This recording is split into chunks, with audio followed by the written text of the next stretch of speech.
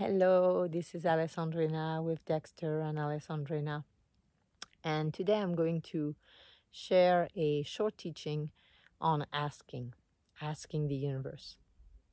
So we have parts of us that are conditioned into thinking that asking is maybe greedy, uh, selfish, bad, wrong, and that if we ask, it means that we're essentially not satisfied or that we are needy. And that's not the case. So, when you realize that there is something meaningful to you, important to you, when you ask for it, when you ask the universe, you tell the universe what it is that you want. And really, you revisit this every day, every hour of the day, however often until you really have integrated this this want this uh, desire this intention that you have for yourself for your life. And until you've come to a place where asking is okay. It's not wrong it's not bad you're not doing anything uh, selfish you're not being needy.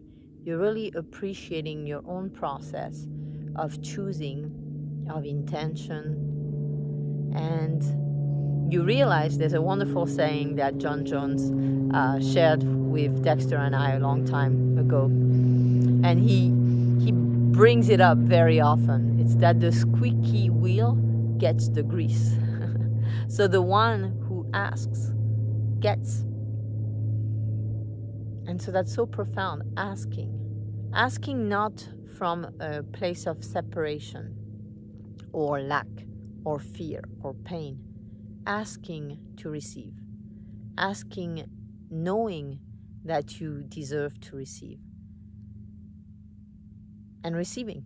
So, in, in a way, this kind of asking that has no judgment, that is really um, aligned and, and, and peaceful and joyful, non separate, so it is whole.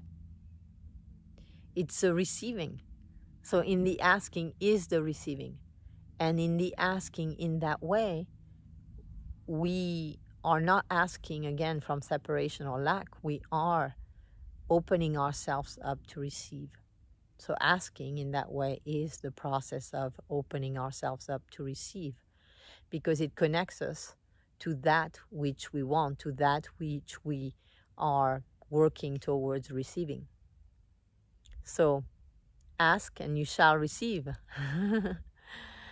Ask so that you connect, so that you resonate, so that you know the energy of what you choose, of what you intend, of what you want. And it doesn't, when you ask, it stops being a want.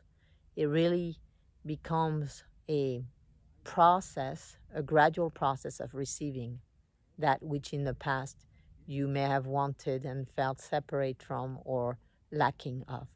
I hope this is helpful. And maybe you can think about right now something that you want, that you choose to receive. Something that maybe not enough or not often enough you realize how meaningful, how important it is to you. So ask for it. Ask and receive it. Align yourself to receiving it. I hope this is helpful. Sending you lots of love.